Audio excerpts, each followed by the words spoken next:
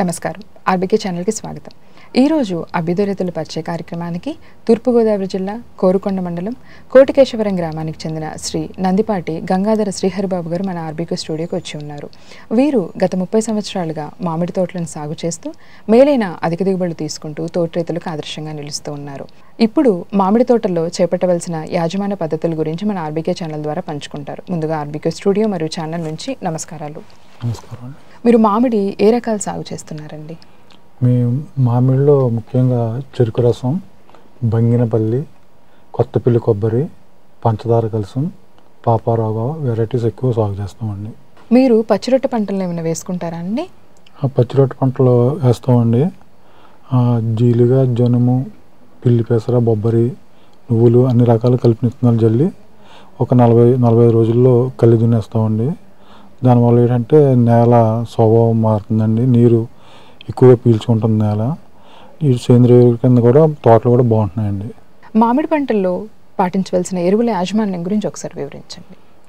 మామిడి పంటలో మేము ముఖ్యంగా single super phosphate urea potassium వేస్తాం. మూడు రకాల ఎరువులు వేస్తాం కలిపి వేస్తామండి త్రీ బ్యాగ్స్ ఎస్ఎస్పి అండి. Single super phosphate three bags potash one bag.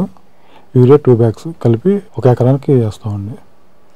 ఎకరాకి ఎన్ని మొక్కలు పెట్టారండి మీరు? మా పెద్ద చెట్లు అండి ఎకరానికి ముప్పై చెట్లు ఉంటాయి. వాటికి ఎరువులు వచ్చి పెద్ద చెట్లకి అయితే పది నుంచి పదిహేను కేజీల దాకా వేస్తామండి. వన్ ఇయర్ దాటిన మొక్కలకి అయితే కేజీ దాన్ని బట్టి రెండు కేజీలు అలా వేసుకుంటూ వెళ్తామండి. వయసుని బట్టి మొక్కలకి వేస్తామండి. మా వర్షాధారంగా సాగు చేస్తామండి మామిడి మొక్కలు. అందువలన ఆగస్టు నెలాఖరికి ఎరువులు వాడతామండి. నీటి వస్తున్న వాళ్ళు మళ్ళీ నవంబర్ నెలలో ఒకసారి వేస్తారండి. మేము ఆగస్ట్ నెలలో ఎరువులు ఎందుకు వేస్తామంటే వర్షాధారం కాబట్టి ఆగస్ట్ నెలలో వేస్తామండి.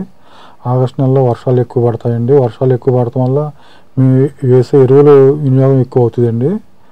దానివల్ల ఆగస్ట్ నెలలో వేసుకుంటామండి తోటలకు మీరు ఎరువులు ఏ విధానంలో వేస్తారండి?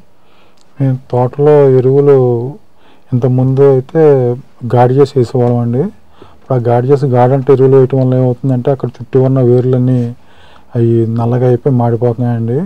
ఇప్పుడు ఎరువులను వెదజల్లి రోటవేటర్ వేసేస్తున్నామండి. దానివల్ల వినియోగం కూడా బాగుంటుంది. ఎరువుల వినియోగం బాగుంటుందండి ఇప్పుడు. ఖాళీ ప్రదేశాల్లో కూడా జీలుగా చల్లుతామండి పచ్చిరొట్ట ఎరువులు జల్లుతామండి. దానివల్ల నేల స్వభావం బాగా మారి వాటర్ పీల్చుకునే శక్తి పెరుగుతుందండి. ఈ ఎరువులు కూడా వినియోగం బాగుంటుందండి. ఇంతకుముందు అయితే ఇంతకు ముందు పోల్చుకుంటే ఎరువుల వినియోగం తక్కువ వేసినా కానీ ఎక్కువ ఫలితాన్ని ఇస్తుందండి మాకు పచ్చిరొట్ట ఎరువులు వేస్తాం వల్ల. ఆ నీటి సదుపాయం లేకుండా వర్షాధారంగా సాగు చేయటం వల్ల కూడా నీరు ఎక్కువ పీల్చుకుని నేలలు కూడా బాగుంటున్నాయండి. మామిడి తోటల్లో పాటించవలసిన ఎరువుల యాజమాన్యం గురించి చాలా చక్కగా వివరించారండి. ధన్యవాదాలు. ధన్యవాదాలు